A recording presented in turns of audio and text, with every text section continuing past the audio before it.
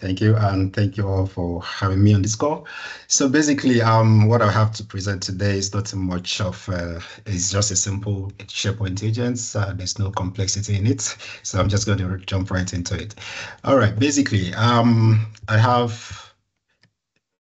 So about me, my name is Ezekiel Ibegbunam. I'm with KPMG MBS in Malta. So in the key areas of where I work, I do to work on the M365 Copilot as well as Copilot Studio, and then with uh, SharePoint and Teams application deployment. So I have my LinkedIn, you can connect with me, and I have, do have some of my publications that I put out there on medium.com. So just to go through the overview of what um, the SharePoint reports agent is. First of all, of course, we all know what SharePoint agent is. It's just at least to reiterate once more what it's what it's composed of. SharePoint agents being an AI assistant that is grounded with the contents existing in your SharePoint site, pages, or any of your selected files. And then how do you have access to it? Of course, we know we have to be licensed with Microsoft 365 Copilot to be able to have access to SharePoint agents. And so to the to the big one, um, to the major, to the content of today, which is the finance reports agent.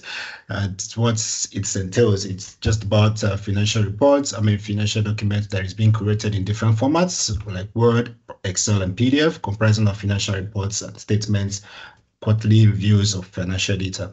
So we're going to see how the, uh, the agent was uh, and try to pull data from these uh, document library where all of the files resides and uh, summarize the content within so as to create for easy uh, access to the data. So just to extend a little bit of SharePoint capability or around uh, M365 integrations, we all know we, we can be able to create M365 apps via SharePoint online.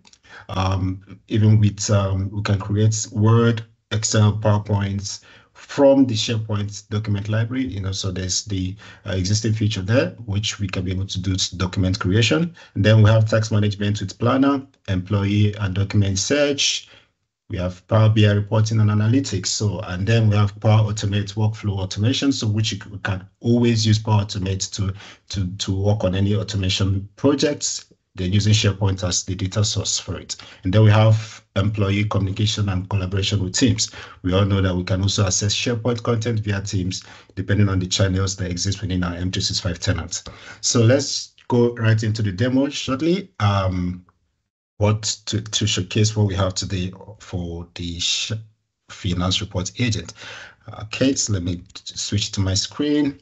Okay, so I did did some beautification around the SharePoint sites. I tried to at least make it a little bit more, um, you know, visually appealing. So what I did was to at least surface the agents on the SharePoint landing page.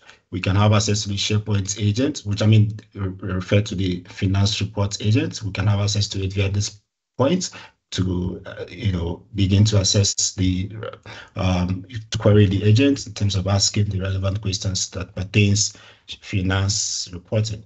And then we let me also show us the the document library where all of the documents resides as to see where the source is. Yeah so we have all of the documents for the reports here and then we can see that the agent is here as well. So but um just to reiterate that by creating it, we, we can simply just go to create an agent and then it brings us up with this dialog box where we can be able to at least fine tune what our agent should be about. And then we can come to the edit button to click on edit and go through with the different areas of uh, uh, adjustments by giving the name and changing the icon to reflect what the agent is about, then the purpose of the agent, and then the source, so it's actually reading from the document library called reports. So, and then uh, so there's uh, there are some prompt suggestions for which we can start with, summarize the key highlights, and then create like a FAQ uh, for the for the document library. So I'm not going to save this because I already have created the agent. So I'm just going to go back to the previous screen um, previous tab. So I have the startup prompts here where we can go through to ask the SharePoint agent to summarize any key financial highlights from quarterly earnings. So when we send this out, we get to see the response from the agents, summarizing all of the key financial highlights from quarterly earnings. So it's taking a bit of time. Hey, come on, come on, come on. All right, so we have it bringing out the data from the document library. So we have it um, showcasing the quarter three, that is the top quarter of 2024 earnings report, and giving the detailed combination of the total figures as well as uh, the expense per share, depending on the records that is existing within the SharePoint uh, document library. And so it carries it carries with it carries with it the citation where the, the information is being pulled up from, and then we can be able to assess that. So let's go to the second prompt suggestions that I'm driving somewhere. Then we'll go click on this, uh, what are the most common financial KPIs mentioned in our internal reports. So it's going to go through the document library to search through uh, the semantics around the internal reports for financial KPIs, and then it will pull off the data for us and then give us the summary view of uh, each of the bullet points around the KPIs. Uh, for the financial records. So this is what we have, and it also comes along with its citation to the respective documents where the information is being pulled off from. All right, so for the third one, uh, create, a, create an FAQ based on this resource.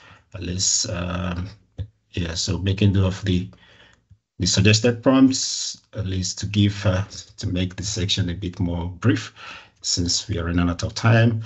And then, um, so for the FAQ, what I tried to do was to create a separate page to carry the FAQ. And where it also comes down to is having the FAQ as, is, as a SharePoint page, which can be accessed from the sites um, as for the for ease of uh, information. So where I did that was to create this so having an FAQ to to bring or to bring into summary all, the documents within the document library, um, the information within the document library, and it carries with it the uh, the citations and the the relative documents that has those information that we are being pulled off from from the FAQ um, using the agents. So we can see here what are the key financial results for Q3 2024. So this like this this is possible like a common questions that will be asked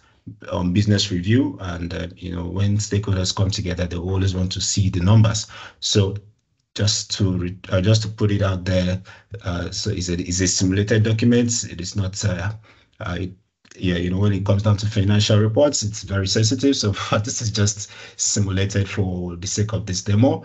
Um, and um, to to to to put the icing on the cake, it was actually created by Copilot.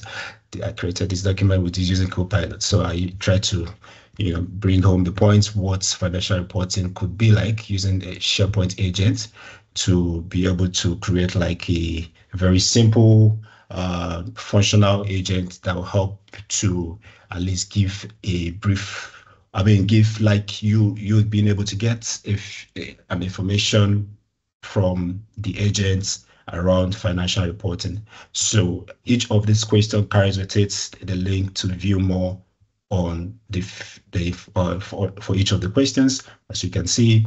And then when we click on it to view more, it goes and open the document that carries the information. So we're able to review and see in detail what that particular question is referring to and to have and to at least give one a better understanding on the explanation around the question.